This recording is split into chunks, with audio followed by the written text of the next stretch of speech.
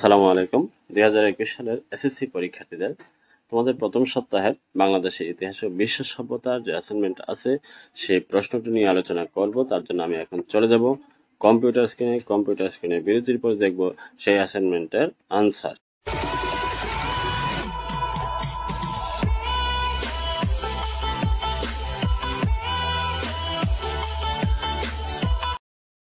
Welcome back আমরা এখন চলে আসলাম বাংলাদেশের ইতিহাস ও বিশ্ব সভ্যতা প্রথম সপ্তাহের প্রথম যে অ্যাসাইনমেন্ট সেই অ্যাসাইনমেন্টে আলোচনা করা হবে দেখো, প্রথমে বলা হচ্ছে অ্যাসাইনমেন্টে বলা হচ্ছে মানব জীবনের ইতিহাস শীর্ষক প্রবন্ধ তিনশো শব্দের মধ্যে। এখানে শিকন ফলে বলা হচ্ছে কি, সেটা দেখে নাও, ইতিহাস এবং ঐতিহ্যের ধারণা স্বরূপ ও পরিসর ব্যাখ্যা করতে পারবে, ইতিহাসের উপাদান এবং প্রকারভেদের বর্ণনা করতে পারবে, ইতিহাস ও ঐতিহ্যের প্রতি আগ্রহী হবে। এরপরে যে সংকেত বা নির্দেশনা দেওয়া হয়েছে, সেটা হচ্ছে কি, ইতিহাস ও ঐতিহ্যের ব্যাখ্যা, ইতিহাস রচনার উপকরণ, লিখিত অলিখিত প্রকারভেদ ব্যাখ্যা, ইতিহাসের গুরুত্ব ব্যাখ্যা, মানব জীবনের ইতিহাস চর্চার প্রয়োজনীয়তা, বিশ্লেষণ।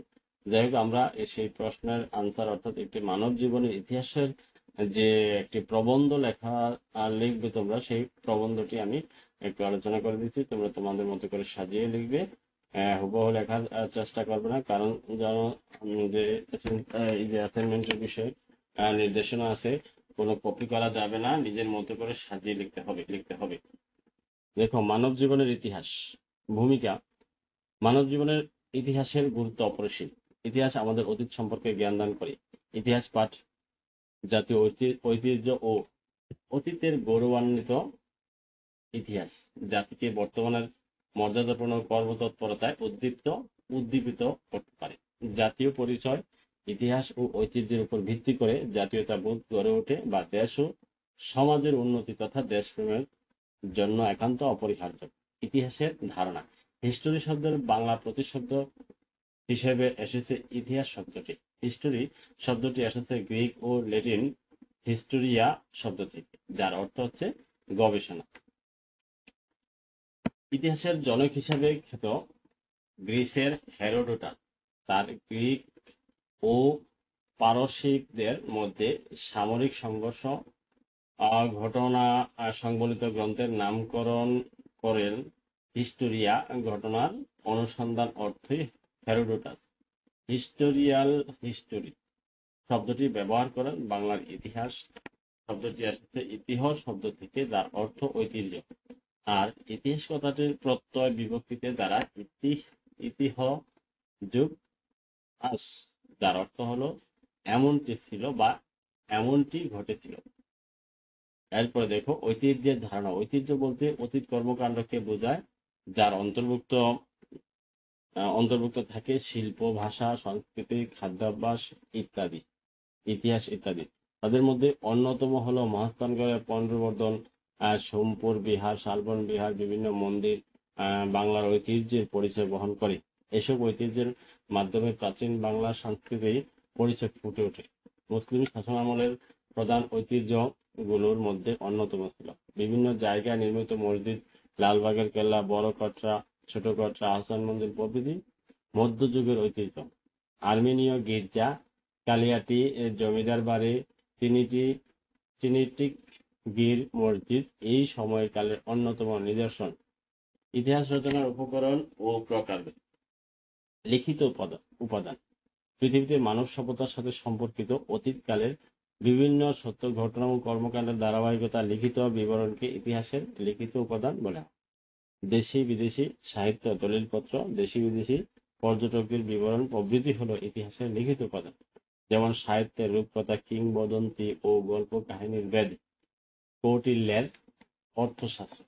আবুল ফজলের আইনি আকবরী, সরকারি নথি ও চিঠিপত্র, খ্রিস্টীয় পঞ্চম থেকে সপ্তম শতকে বাংলার আগত চীনা পরিব্রজক যেমন ফা হিয়েন হিউয়েন সাং ও ইং সিং এর লিখিত বিবরণ থেকে প্রাচীনকালের সভ্যতা। সমাজ, ধর্ম আচার আচরণ আচার অনুষ্ঠান অর্থনীতি, রাজনীতি প্রভৃতি সম্পর্কে অনেক তথ্য জানা যায়। যেসব উপাদান বা বস্তু থেকে অতীতকালের বিশেষ সময় স্থান ও ব্যক্তি সম্পর্কে ঐতিহাসিক তথ্য পাওয়া যায়। সেসব উপাদান বা বস্তুকে ইতিহাসের অলিখিত উপাদান বা প্রত্ন নির্দেশ, নিদর্শন ও নিদর্শনও বলা হয়। এইসব উপাদানকে আবার ইতিহাসের বস্তুগত উপাদান বা প্রত্ন নিদর্শন গুলি হলো ইতিহাসের অলিখিত উপাদান। যেমন প্রাচীনকালের তৈজসপত্র শিলালিপি, তাম্রলিপি, ধাতব, মুদ্রা স্থপতি নিদর্শক বা ইমারত প্রভৃতি।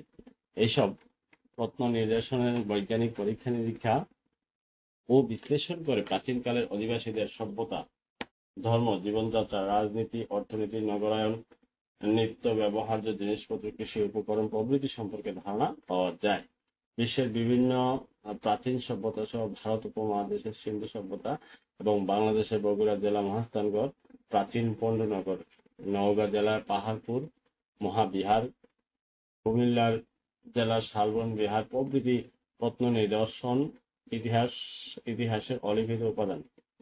আবিষ্কারের ফলে যে কোনো জাতির ইতিহাসও বদলে যেতে পারে। যেমন, সম্প্রতি বাংলাদেশের নরসিংদী জেলার ওয়ারি বটেশ্বর প্রত্ন নিদর্শনের হ্যাঁ প্রত্ন নিদর্শনের আবিষ্কার প্রমাণিত হয়েছে যে বাংলাদেশে প্রায় পঁচিশশো বছর আগেও উন্নত নগর সভ্যতা গড়ে উঠেছিল।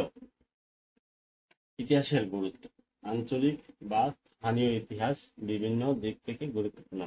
যেমন প্রমাণ্য ইতিহাসে সব জায়গায় প্রতিনিধিত্ব থাকে না, গুরুত্ব বেশি না থাকা, থাকলে বা বিশেষ উল্লেখযোগ্য ঘটনা ঘটলে সেই স্থানের বিবরণ থাকে না। সেই ক্ষেত্রে স্থানীয় ইতিহাস এই অভাব পূরণ করে।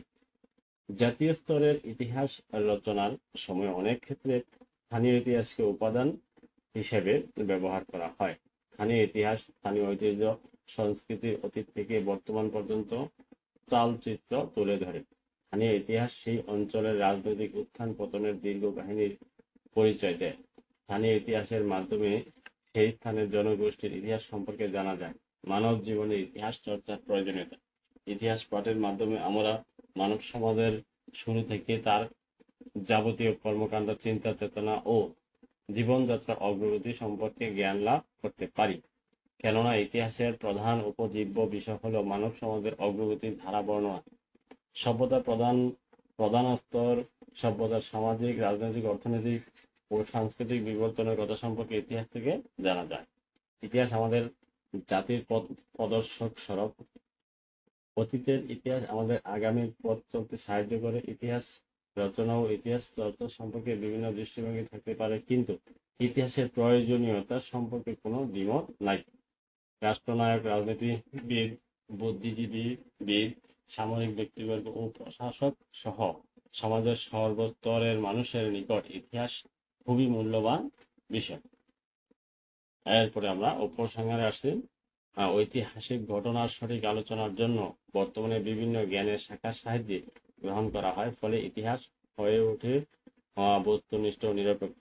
ইতিহাসকে, জাতির ঐতিহ্য ও সংস্কৃতির মূল্যকে যথাযথভাবে সংরক্ষণ করে সমাজ ও জাতির অগ্রগতির কাঙ্ক্ষিত লক্ষ্যে পৌঁছতে ইতিহাসের জ্ঞান প্রয়োজন, সহায়ক শক্তি হিসাবে কাজ করে।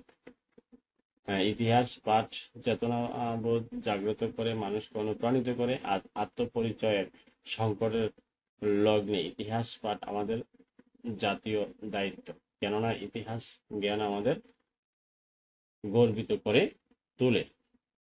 এ হলো আমাদের অ্যাটেন্ডেন্স আল্লাহ হাফেজ।